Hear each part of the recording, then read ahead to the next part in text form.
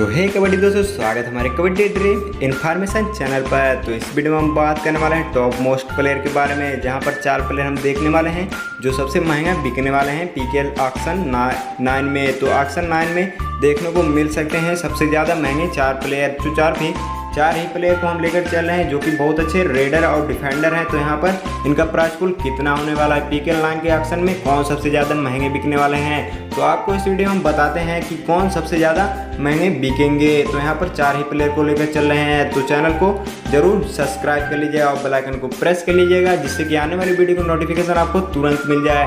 तो एक और नई इंटरेस्टिंग वीडियो को शुरू करते हैं। तो सबसे पहले यहाँ पर हम पहले प्लेयर पर नज़र डालते हैं तो पहले प्लेयर हम यहाँ पर रख रहे हैं, जो कि युवा के कप्तान हैं, फजल अख्तर चलिए तो पिछले सीज़न में बहुत अच्छा परफॉर्मेंस हमें करके दिखाए थे तो इस बार रिलीज़ कर दी है युवा की टीम क्योंकि इनका प्राइज पुल ही बहुत अधिक था। पिछले सीज़न में इनने युवा की टीम अपनी टीम में एक करोड़ इक्कीस लाख देकर शामिल की थी, जो कि बहुत महँगा प्राइज पोल है। तो यहाँ पर इनको रिलीज़ कर दी है इस बार युवा की टीम तो इनका प्राइज पोल लगभग कितना होने वाला है? क्योंकि पिछले सीज़न का प्राइस पोल एक करोड़ इक्कीस लाख ही था।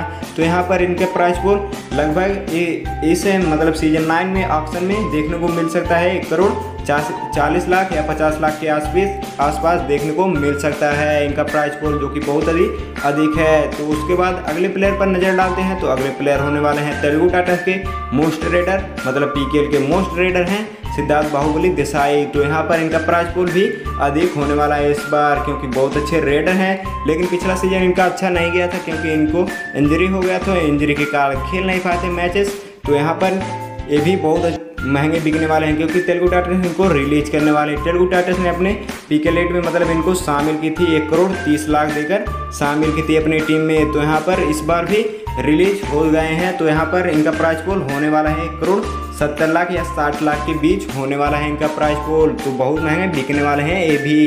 वहीं अगले प्लेयर पर नज़र डालते हैं तो अगले प्लेयर होने वाले हैं जो कि पी के लेट के नंबर वन रेडर हैं। हाँ भाई, बात कर रहे हैं पवन कुमार सहरावत के बारे में, जहाँ पर इनका भी प्राइस पोल इस बार अधिक होने वाला है, क्योंकि भाई बहुत मोस्ट रेडर हैं। तो इनको भी रिलीज़ कर दी है बेंगलुरु की टीम मतलब ये ऑक्शन में देखने को मिलने वाले हैं। तो इनका प्राइस पोल कितना होने वाला है? तो दो करोड़ के ऊपर ही होने वाला है या दो करोड़ तक होने वाला है इनका प्राइस पोल जो कि बहुत अच्छे रेडर हैं। सीज़न पाँच से बहुत अच्छा परफॉर्मेंस हमें करते आ रहे हैं, दिखाई देते हैं। तो पी के लेट के नंबर वन और पी के एल सेवन की भी नंबर वन रेडर हैं। तो बहुत अच्छे रेडर हैं। तो इन इन पर भी सभी टीमों को निगाहें होने वाली हैं। तो इनका प्राइस पोल दो करोड़ के आसपास होने वाला है, जो कि मोस्ट रेडर है तो किस टीम में हो सकते हैं बेंगलुरु बुल्स के कप्तान थे तो इस बार रिलीज़ हो गए हैं तो किस टीम में मतलब कौन सी टीम इनको खरीद सकती है? तो यहाँ पर कमेंट कर कर ज़रूर बताइए, कौन सी टीम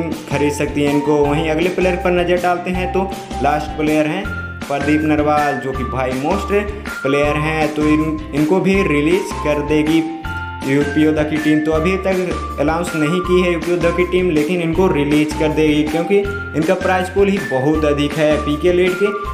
नंबर वन मतलब खिलाड़ी थे जिन, जो सबसे महँगे बिके थे तो एक करोड़ पैंसठ लाख में इनको यूपी योद्धा की टीम अपने टीम में शामिल की थी। तो इनका प्राइस पुल एक करोड़ पैंसठ लाख था पिछले सीज़न में तो इस बार भी अधिक ही होने वाला है, क्योंकि सभी टीमों की निगाहें होने वाली हैं।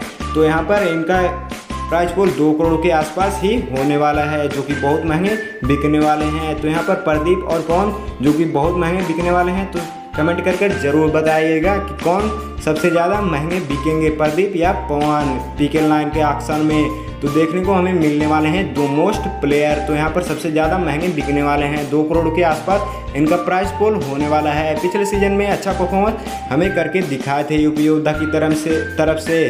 तो बहुत अच्छा है। मतलब रेडर हैं तो यहाँ पर इनका प्राइस पोल भी दो करोड़ के आसपास ही होने वाला है।